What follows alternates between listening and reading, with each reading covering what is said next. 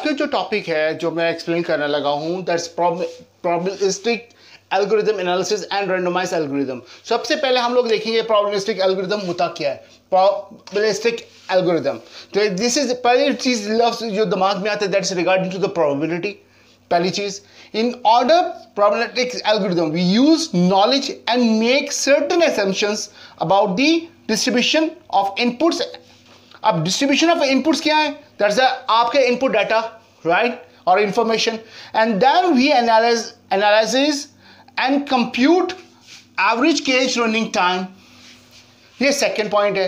तो पहली जो चीज़ इसके अंदर करनी पड़ती है प्रॉब्लमिस्टिक एनालिसिस एल्गोरिथम में, पहली चीज़ आपने नॉलेज करना, देखना है certain assumptions about the distribution inputs of and then analysis करना आपने of cot computer average case running time के ऊपर।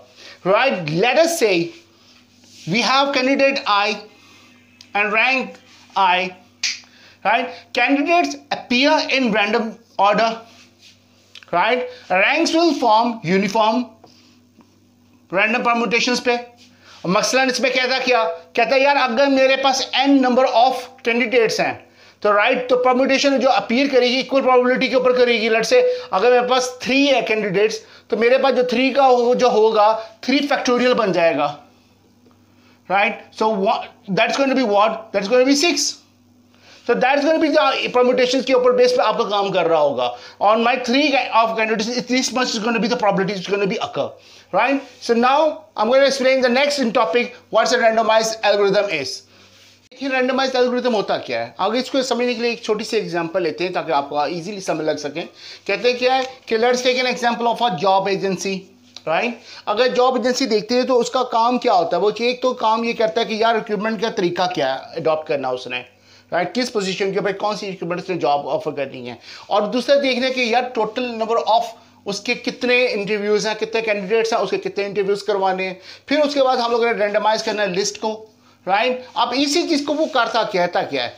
In algorithm randomize in behaviour of the input input is what is your candidates is provided by the random generator हम लोग क्या करेंगे? Use करेंगे random generator over here input in random time as expected running time that is depends on my running time जिस किस्म का मेरे पास candidates आ रहे हैं, उसी के मुताबिक हम लोग ये सारा एल्गोरिदम फॉलो करेंगे रैंडोमाइजली तरीके से। So this is a very basic understandable point point के रैंडम एल्गोरिदम होता क्या चीज़ है? थैंक यू ओके जी, अगर हम लोग इसको एग्ज़ाम्पल को पूरे टॉपिक में से एग्जाम्पल्स में निकाली हुई, जो आपकी हमारे बुक में भी है इंट्रोडक्शन टू एल्गोरिथम के राइट? वो कहता है कि hiring I mean hiring problem है उसकी right it will use probabilistic for probabilistic for the analysis of our algorithm अब कहता क्या द हायरिंग प्रॉब्लम सबसे पहली चीज़ हायर एन असिस्टेंट इसका मतलब है ऑलरेडी मैं अगर मैं कॉम्पनी का एक मैनेजर हूँ तो मेरे पास ऑलरेडी एक असिस्टेंट है। तो मैं क्या करता हूँ कि मैं उसकी जगह पे एक नया असिस्टेंट मैं हायर कर, करना चाहता हूँ। तो सबसे पहली जो चीज़ है मैंने उसके लिए जो इसको काम देना है उसका नाम वो एक एजेंसी जॉब एजेंसी है। जिसको मैंने कहना है कि यार प्लीज़ मुझे एक असिस्टेंट आप जो शर्त तरीका क्या होना चाहिए? लाजमी बात है, जो उसकी कॉस्ट मैट्रिक करती है सबसे ज़्यादा। लाजमी बात है, जो ये सिस्टम जो मेरे से वो, जो ले रहा है कॉस्ट कर रहा है तो उसे कम कॉस्ट पे और ज़्यादा बेहतर काम कर सके राइट सो so, ये मेरे पास उसका मेथड है। कहता है जी one candidate per each day ये एजेंसी का काम है। हम कहते हैं one candidate each day right if the current assistant जो मेरे पास, इस टाइम पर है राइट? उसकी जगह पर मैंने न्यू कैंडिडेट को हायर करना है ऑन दी बेस्ट कॉस्ट तरीका क्या किस पे? बेस्ट कॉस्ट के ऊपर. राइट इसके ऊपर हम लोगों ने बेस्ट कॉस्ट के ऊपर काउंट करना है। अब मैं इसका सूडो कोड लिखने लगा हूँ।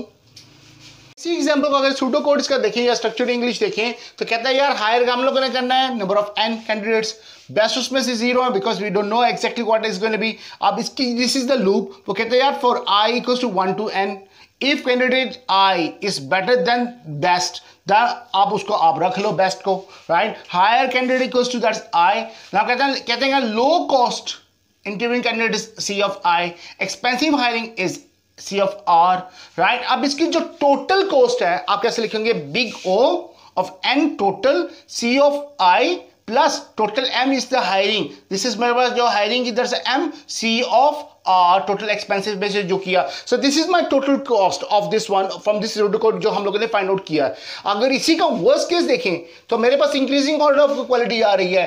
पहले वन था, फिर आगे जो आया मेरे पास आई मीन वन गया तो इसका मतलब थ्री थ्री के बाद सेवन सेवन के बाद टेन तो थ्री के बाद वन के बाद आया सेवन जब आया तो इसके बाद थ्री के बाद, इसका मतलब ये आपके पास वर्स्ट केस जा रहा है बिकॉज़ जिस, इसके अंदर सिर्फ़ और सिर्फ़ मेरे पास, आपके पास जो मेरे पास है दैट्स ऑर्डर आपका जो जो इंक्रीजिंग ऑर्डर है, वो बढ़ता जा रहा है राइट सो पे पॉइंट ऑफ़ व्यू से ये देखा जाए, वो चीज़ बढ़ती जा रही है। इसके अंदर हमारे पास जो कोशिश है कि जो हम लोग कोशिश कर रहे हैं, उसी लॉ ऑर्डर के अंदर कि हमारे पास जो है बेस्ट कैंडिडेट से बेस्ट कैंडिडेट है with the minimum pay thank you